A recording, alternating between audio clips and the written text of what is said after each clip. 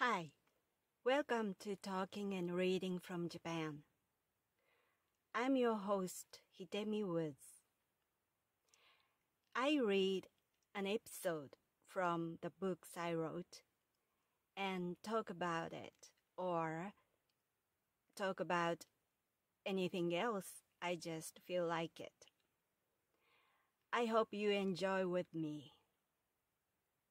Today, I read an episode from one of my books titled An Old Tree in Kyoto.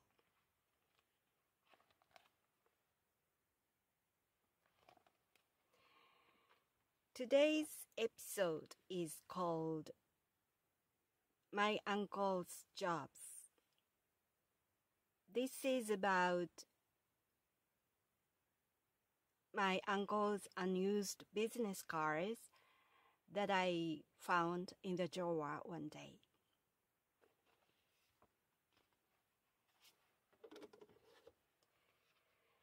My uncle's jobs. I lived with my uncle until I was 80 years old. He had drifted from one job to another since the time since the time long before I was born. He once started the soft drink business with a relative and his friend, which failed. Then he started the bathroom floor pads business with my other uncle, which also failed. As my grandfather couldn't stand to see his financial aid wasted anymore, he had my uncle hired at a Honda used car dealership by a family connection. Now that my uncle got a steady job with a fixed income, my grandfather was so happy that he placed a large order for my uncle's business cards at the print shop, which, by the way, was run by his brother in law at the back of our house. Sadly, though, my uncle quit the job after several years without any consultation. He found a new job at a gas station, got married, and left our house. One day I was playing alone in the living room and doodling. I ran out of paper and began to rummage the drawers. I found a box filled with my uncle's unused business cards. Even as a little kid, I knew he had changed his job, and therefore those cards were completely useless. I was doodling on the back of the cards when my grandfather called me. He got furious and told me never use them as pieces of paper it sounded pointless to me, and I asked him what use they had. He replied, That's not the point. These are expensive and you can't use them. He tucked the box back into the drawer carefully while I was wondering who would use them then. A few months later, my father and I went for a drive to fill up the car at the gas station where my uncle worked. My father looked into the office to say hello to him, but he wasn't there. The manager told my father that my uncle had quit. He was smiling to me back in the car, although apparently he seemed dismayed. We drove back home silently.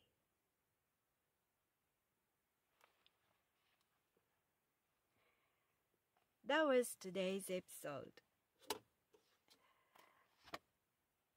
My uncle was a funny man and he was always noisy and joking around, fooled around and uh, that was quite different. His character was so different from other members of my family. as my grandparents and my father were all quite quiet and didn't like someone noisy. But um, my uncle was opposite to them, and he was always making them unpleasant and silent with his uh, jest. He is a jester. He was a jester. And uh, he was, to be honest, he was quite annoying, even to me, who was uh, still a, a small child. He was joking too much. And uh, when we lived together, I didn't quite like him. And uh, he was uh, um, he was funny, but he was not a serious man. So he it seemed he didn't face his own life quite seriously. To him, everything was, I think, everything looked to him as kind of jokes. And so after um he was um, graduated from high school, he didn't try to um, look for a job seriously. And so my grandfather always took care of him all through his life regarding his career. In that um, case, uh, even high school, when um, my uncle um, got to high school, my grandfather was so worried about his school. He, my grandfather thought he, my uncle wouldn't be accepted any good schools. So my grandfather thought he had to do something for my uncle to get in a, a decent school. So he, my grandfather visited his um, the school he he himself was graduated from, and he asked the principal of that school to let my uncle get in that school, and so quite the the early point of my uncle's life. My grandfather took care of him.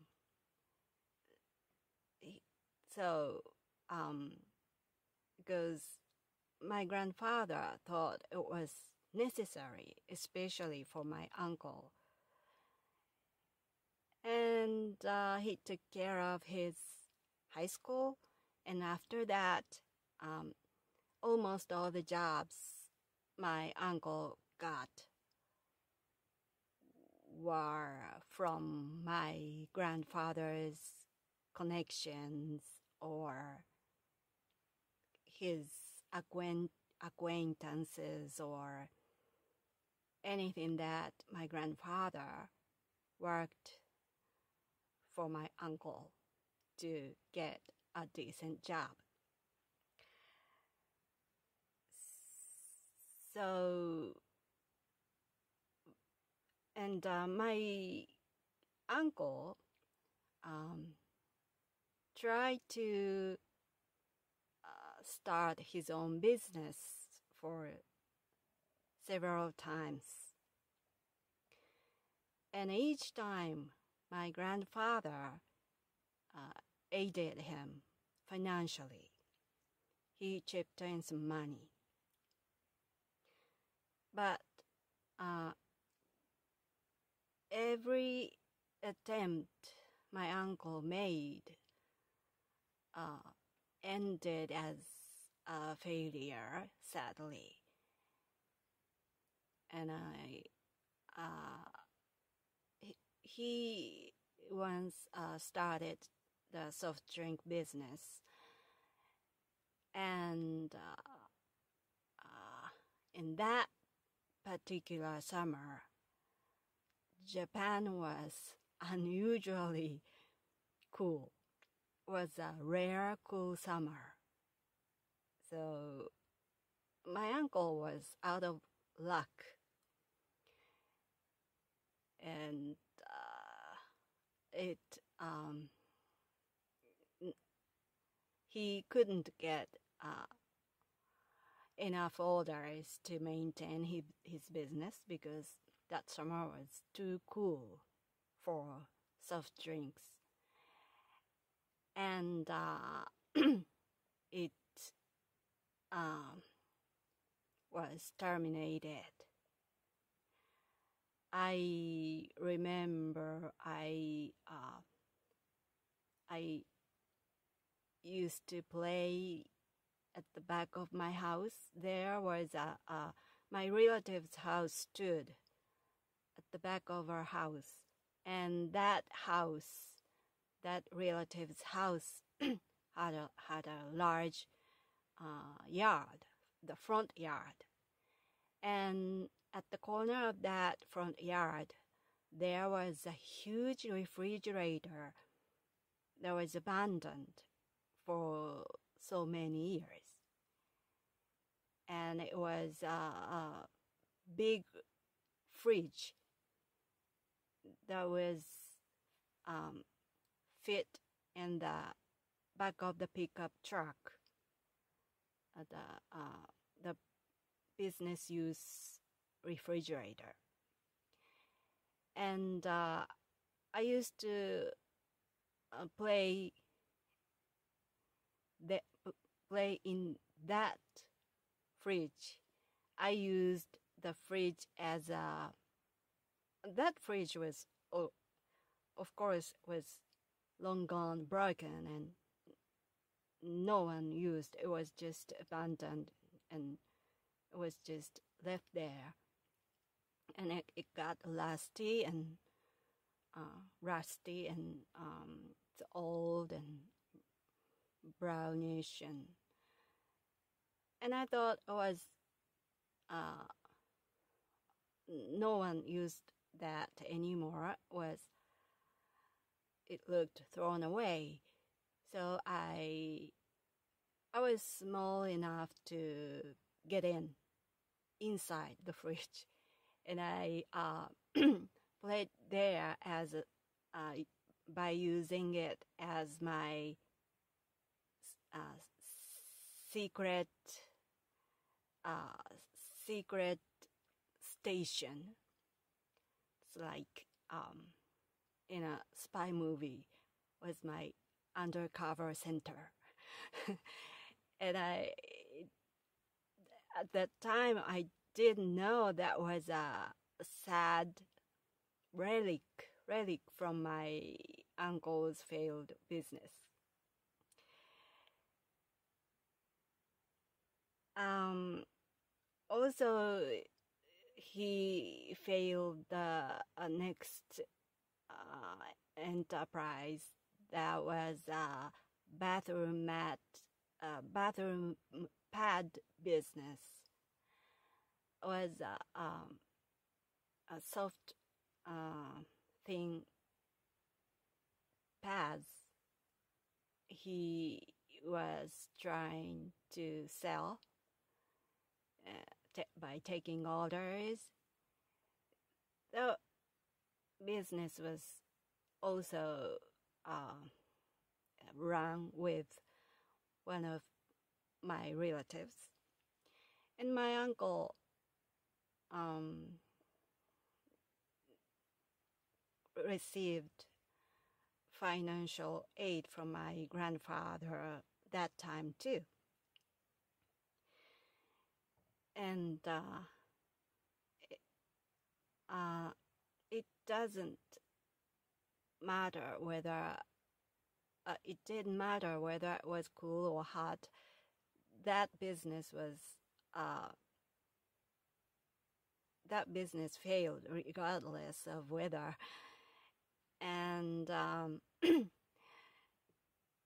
uh, I still lived lived with my uncle. So at that time, so there were so many bathroom pads all around our house because they were all unsold and stuck inside our house.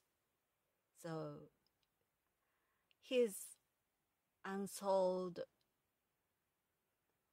bathroom pads are all around our house and uh, we used them as a not only in the bathroom of our house, but everywhere. We used them as carpets. And uh, uh, also, uh, he sold um, this um, the split, split short curtains, which was made of the same uh, materials of that bathroom pads. And on the floor, it was the sea of bathroom pads, unsold pads. And um, every corner of each room there were split curtains, unsold curtains uh, were hanging. Um, sadly, um, it uh, combined with the pads, they all look so looked so um, uh, sad and sort of shabby. And uh, um, and finally, my grandfather stopped chipping in his money into his own business, and he uh, found a job at a, a car dealership, a Honda used car dealership, uh, uh, out of his one of his connections, and introduced that job to my uncle, and he took it. And at first, he seemed happy to be there, or maybe pretended to be happy there because I think being a, a salesman of a car dealership need to be smooth tongued um, mm, good crafty man, but my uncle was not anything of those things. He was rustic, uncouth. So to me, it's it was almost impossible for my uncle to be a to be to work as a salesman at the car dealership. He I suppose he couldn't do it, and uh, I guess he didn't um, sell so many cars there, and uh, he wasn't happy about working there. But um, because it was my grandfather's um, introduction, uh, because he, my uncle used my grandfather's connection, it was hard for him to quit. So he maybe endured a few years, but he just simply couldn't stand it any longer. And uh, he, one day he just quit. Uh, but my grandfather, for some reason, kept uh, his, my uncle's business cards of that dealership uh, in the drawer as if they were treasures. And, uh, I, as a, a small child, I didn't understand what use they could be. So it to me it was better to use uh, when I doodle than just being kept there forever. But my grandfather just um, didn't allow me to use it as a as notepads, and uh, he, for some reason, really kept it as treasures. Um, I don't know who found a job at a gas station that my uncle got after that dealership.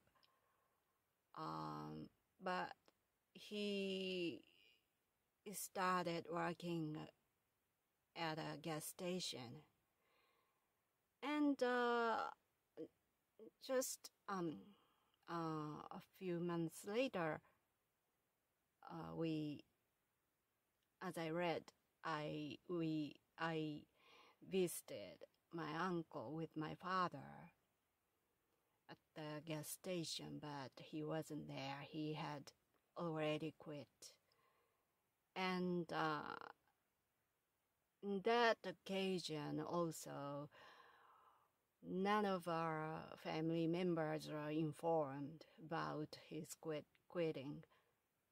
So my father was so surprised because um, my uncle was my uncle had left home because he got married. So he my uncle absolutely needed the fixed income to support the family. So my father wouldn't imagine he, my uncle, would quit so easily or so uh, soon after he got the new job. So my father was so surprised and uh, he gave me a wan smile and we really, yeah, we drove drove back home uh, in a really sunken mood, depressing mood, and I didn't know what happened afterwards, but I'm sure my father at one point told my grandfather about my uncle's job. So my grandfather must have known afterwards that my uncle quit the gas station, quit his job again.